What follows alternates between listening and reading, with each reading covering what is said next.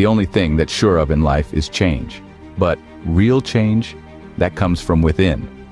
Romans 12 verse 2 says, Do not conform to the pattern of this world, but be transformed by the renewing of your mind.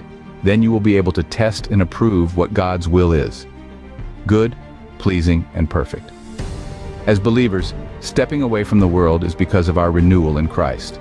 The Holy Spirit is now guiding us, and our thoughts and hearts start to become reshaped.